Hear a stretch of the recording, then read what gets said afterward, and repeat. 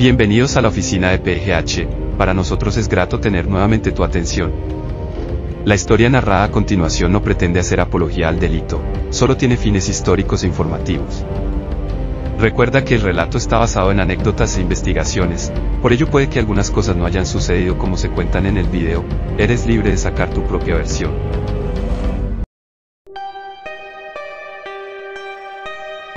El señor Juan Diego era un supervisor más de la empresa Polímeros Colombianos. Ganaba un humilde sueldo que era suficiente para mantener a su esposa Inés y a sus dos hijas, Clara Inés y Margarita. Era un hombre correcto y muy rígido en el hogar. La austeridad y privaciones a que se debía someter por su bajo sueldo contrastaba con los más de 20 millones de dólares que tenía en una caleta construida debajo de una escalera en su residencia, ubicada en el barrio San Pío, en Itagüí. Nunca se atrevió a sacar un solo billete, por esa razón Fernando el Negro Galeano le tenía una confianza ciega. Además, le daba todos los meses una liga por cuidar el billete. Juan Diego acostumbraba enviar a su familia, cada 20 días, a paseos o a visitar a familiares. El propósito era quedarse solo en la casa. La razón era que los dólares había que asolearlos, tenía que sacarlos al sol para evitar que les cayera hongos. Allí en una terracita del patio de su casa los colocaba y empezaba a soñar qué haría con esa cantidad de dinero. Ya había recorrido el mundo más de 20 veces, también había encuerado y tirado a las más bellas modelos del planeta, pero se despertaba de un salto de solo pensar lo que le pasaría como se llegara a perder un solo billetico de 100 dólares. Los dólares estaban envueltos en papel periódico del año 1984, en fajos de 100 mil. Un día de sol, su hija mayor, Clara Inés, se regresó sin avisarle y lo encontró en semejante tarea. Le dijo que no se preocupara, que ella le guardaría el secreto. Desde ese día padre e hija hacían las labores de asoleo. Pero la jovencita cada vez que sacaba la tula se robaba varios billetes. Empezó a comprar ropa y a prestarle dinero a los vecinos. También adquirió una moto. Su novio, un pandillero, le pidió que le contara de dónde sacaba ese dinero. Ella le relató lo sucedido y acordaron robarse la caleta. Juan Diego un día apareció muerto y de inmediato la gente del negro galeano se presentó a la casa a ver qué había pasado con la caleta. La viuda, que no sabía nada, le solicitó que la dejaran, que ella la seguiría cuidando porque la platica que le pagaba le servía para vivir. Los dólares se quedaron allí. Semanas después, el domingo 28 de junio de 1992, la señora llamó con urgencia a uno de los trabajadores de Galeano y le contó que la plata se la habían robado y que su hija había desaparecido. Comenzó entonces la búsqueda de los dólares. Los lugartenientes de Fernando Galeano, el ñato y Semilla, se pusieron al frente de las acciones. Un grupo de hombres de Escobar, al mando de El Arete, cooperaron con las investigaciones. La primera acción fue colocar en cuarentena a la viuda y a su hija menor. Las guardaron en una casa de San Antonio de Prado, municipio del área metropolitana de Medellín. Todos los días, la niña, llamada Margarita, salía acompañada de los investigadores en un carro, con el pelo recogido, gorra y gafas oscuras. Recorrían las calles aledañas a su casa y señalaba a los amigos de su hermana. Otro grupo que iba en un Mazda 323 se encargaba de alzar al señalado.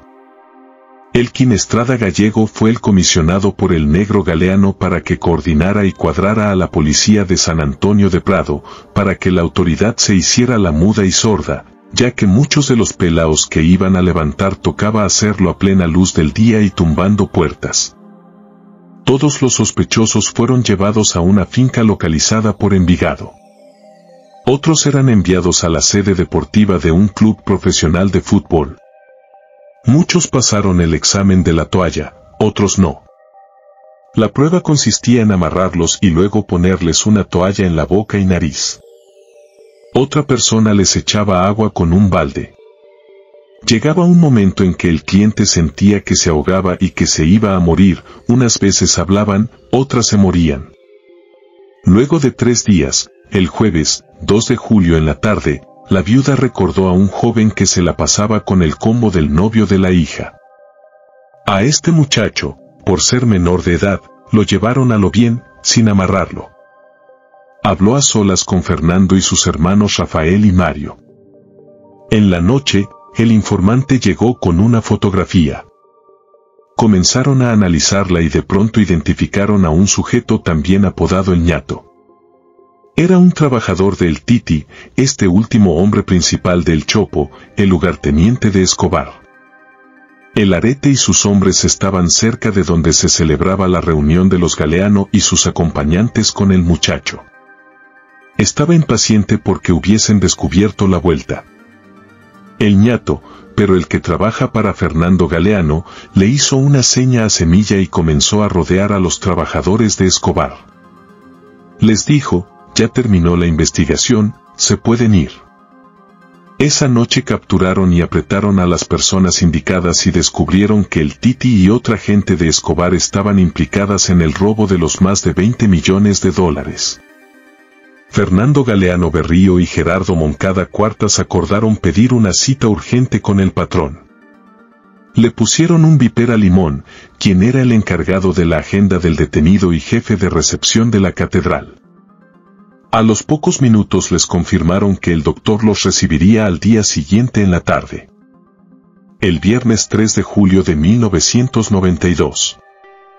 Los sitios para recoger la gente eran un parqueadero de Envigado y la cancha de fútbol de la terminal del Dorado, también en el mismo municipio.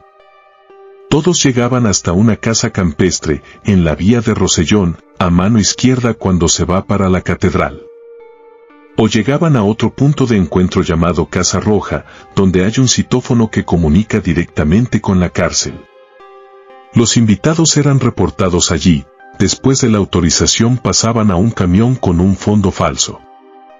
Allí iban Fernando y Gerardo, acompañados por el arete, a denunciar ante Pablo el robo de la caleta. Al llegar a la catedral los hicieron pasar de inmediato al gimnasio. Para el negro galeano no pasó inadvertido el estado de exaltación de los presentes. De pronto se lo atribuyó a la vareta. Pero no solo el consumo de la hierba era la responsable del júbilo, sino las órdenes de trabajo que se iban a impartir cuando llegara el patrón. Los pillos y bandidos llevaron a Escobar a cometer su último error, traicionar, vender y asesinar a sus amigos. El patrón llegó y luego del saludo se tiró uno de esos discursos que gustan solo a los áulicos. Recriminó a Galeano y Moncada por guardar el billete mientras él ponía el pecho por la guerra. Exigió que revelaran la ubicación de las otras caletas para ponerlas al servicio de la organización y de los muchachos, pillos y sicarios, que habían dado una cuota de sangre muy alta por la causa. Se escucharon unas ovaciones y frases de respaldo para con el patrón, quien levantó el mentón en señal de vanidad y orgullo. Los invitados se negaron. De inmediato fueron amarrados y torturados. Gracias por llegar al final del relato. No olvides suscribirte al canal y compartir el video. Hasta la próxima.